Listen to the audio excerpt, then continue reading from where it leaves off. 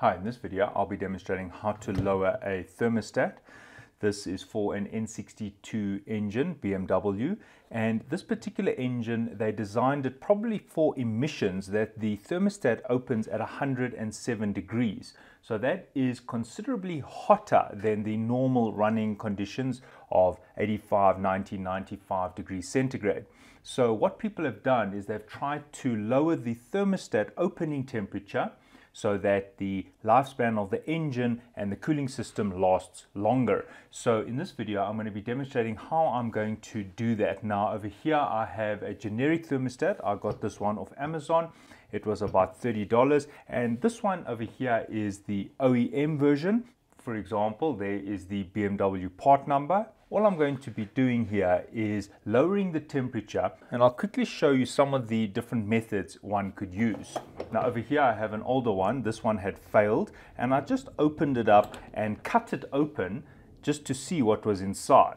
Now there are a few ways of lowering the temperature of which I've only tried one which was successful. Some people have spoken about putting little shims on here and increasing the shaft length because this would travel on there and if the length is a bit longer then it would reduce the volume therefore it would open sooner. Because what is inside here is a special type of wax. It is not wax from a candle. It is a very special type of wax. And as it heats up it expands and this moves along the shaft therefore opening that disc allowing the water or the coolant to travel and therefore circulate cooling the engine down so as you can see, it is spring loaded. So my only concern is adding shims here. I'm just worried about things getting jammed. Another option of lowering the temperature is to reduce the size of this piece over here. If one has a look at it, can see that there's quite a lot of open space there. Obviously there was some wax inside. And when I zoom in, you may even notice that there's been some crimping or pinching of this. I'm not sure if that is part of the calibration. So if one could reduce the size of the internal volume, then that will also lower the opening temperature because the volume will be reduced, which means there'll be more pressure at a lower temperature. So that is quite hard to do because it does mean removing this washer over here and then getting access to this cavity and then putting this back and maybe riveting it or welding it on top here. So I haven't actually tried that. Another option that people have spoken about is reducing the tension or reducing the pitch maybe or the number of turns on the spring because the spring is holding this down. So if there's less force holding this plate down, therefore this could open earlier. Now to do that, one also needs to open this cap and that requires some additional metal work.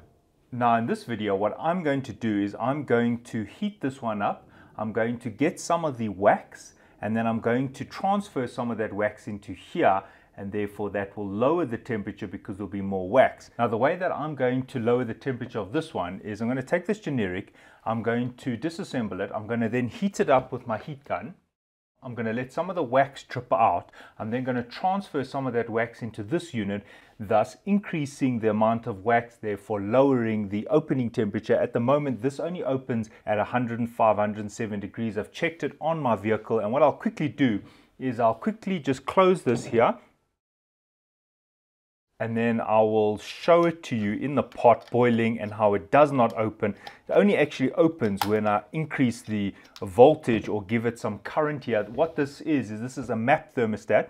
What it means is by applying a current here, I can increase the heat here by using current. I can also lower the opening temperature by the electronic map function. We use this to accelerate the opening of the thermostat if the engine is under a lot of pressure. For example, going up a hill, the ECU of your car will then provide current here to provide extra heat in order to open this earlier because the engine is probably running very hot because your car may be going up a hill or pulling a trailer or whatever, therefore it'll open earlier. So I'm going to quickly put this in boiling water, show you that it does not open even in boiling water. I'll then add a current source here and you'll see that it'll only open at a certain current and then what I'll do is I'll show it to you after I've reduced its temperature. Right, over here I have a bench supply. It's currently at 12 volts. I haven't got it connected. You can see I've unplugged it. Right, over here I have my thermostat and I'm even pouring in boiling hot water and uh, you should notice that it doesn't open. So this thermostat only opens above 100 degrees. Now, having a look at the metal plate, you can see that it still hasn't opened even though it's been cooking here for a bit of time. There's the plate. Right, so it's been here for a couple of minutes. It hasn't operated. What I'm going to do now is I'm going to use the electronic control. So I'm going to provide a current and I'm going to provide 0.5 amps. Right, so I've now connected the map control and I'm providing the thermostat with 0.5 amps and I'd like to see how much it opens.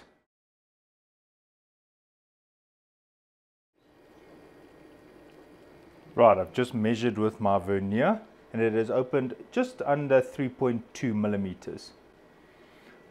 Even though it's been cooking here for about five minutes. So now what I'm going to do is I'm going to add some more wax, have the same setup and I'll show you that it will have opened even more than that. Right, so I need to open both of these. So I just do one side and then one side, one side and then one side right now on the OEM one, it is very stiff. It doesn't just slide off. On the generic, it's also quite stiff. So what I'm going to do now is just heat it up with a heat gun. It's very important to distribute the heat. And I just want to heat it up a little bit just to get it moving.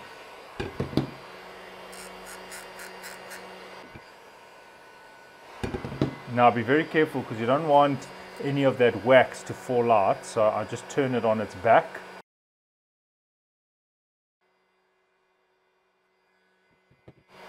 Now I just need to open the OEM one.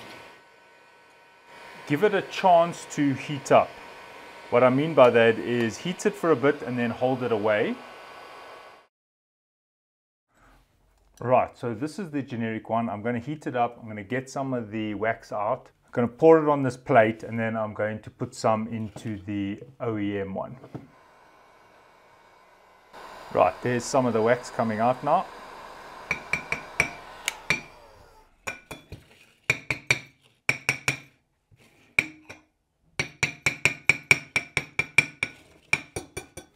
Right, so I'm going to put in, I'm going to put in 0.1 of a gram inside here now. So I just put it on the top there and then I light it and then it uh, slides in nicely.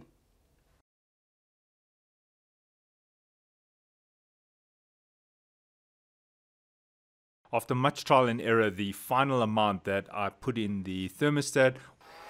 Now I just need to put this back on. So I'm just going to heat it up a little bit Remember that I don't want to destroy this one, so I'm just, I'm just heating it up a bit.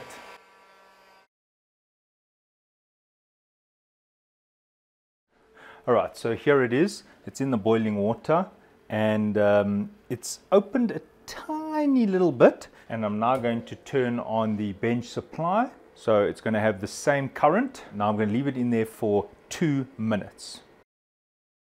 All right, so the thermostat is now open seven millimeters. Now, if you have an infrared thermometer, notice that at about 90 degrees, the plate of the thermostat must be open. So in this case, it's about one and a half millimeters open, and that is how I know it will be correct in the vehicle. Otherwise, if you haven't got the infrared thermometer, then you can use the bench power supply to also do your measurements. So I did both. I did the bench power supply showing that it opened more, and obviously the infrared thermometer measuring at 90 degrees just in the water, obviously without the bench power supply connected. Right, so here's the unit. I'm going to go and install this on the vehicle. It is now closed. I've done some tests and I will show you the results. All right, so the running temperature is about 93, uh, about 92, sometimes 91, depending on whether the aircon is on or off. When the car revs higher, or specifically if you put it into sports mode, then the temperature drops. It's like the ECU is compensating there using that map function. But if the car is on idle at a traffic light or if you're in traffic, the temperature does go up. I do hit some 95s, uh, even had a 96 degrees, but this is far lower than the 107 degrees, sometimes 109 degrees I was getting. This is a bit of a trial and error process. For example, if you put too much wax in the cavity, then the thermostat opens too early. If you put too little, then it opens too late. Now, while I said I put in 0.5 grams, uh, this is not an exact science because if I did it with a different thermostat, maybe the cavity was slightly bigger. For example, I noticed on the generic thermostat, the pin was actually longer and the inside cavity was different. So it's almost like they got their own calibrations. And also, there's something called hysteresis, which means that there may be some overshoot there's sometimes also a delay in how long it takes the thermostat to operate, and that's also why I sometimes get slightly higher temperatures, which is normal. Now, what happens if you put too much wax in and it's opening at like 70 degrees? Well, this is how you solve that problem. You just need to remove some of the wax, and I'll show it now.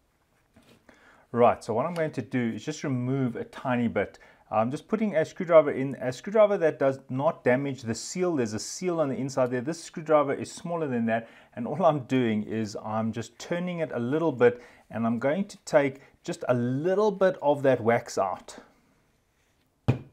There we go. And that's it. That's all I'm taking out. Just a tiny bit, as you can see. Right, so I've taken that out and I'll reinstall it and now test it. All right, just some closing remarks. I've now done this more than once. I've been driving the vehicle for weeks and it's become stable. Most important is to get the air out of your cooling system. On some cars, there's an auxiliary side where the uh, there's some valves that allow the cooling system to actually heat up the air for your cabin so that means that when you are getting the air out of your cooling system, make sure you put the air temperature high in the cabin to get the cooling uh, the coolant to circulate in order to get rid of that air. What happens when there is air in the system, you might get some sudden peaks. For example, you may have got your thermostat to be 90 degrees, but then you're getting a 98 or 100, then you probably got some air still trapped in the system and uh, you find this ha- happening. You might be wondering why I do this in the first place. Well, many, or if not most, engines are designed to operate at 90 degrees or thereabout.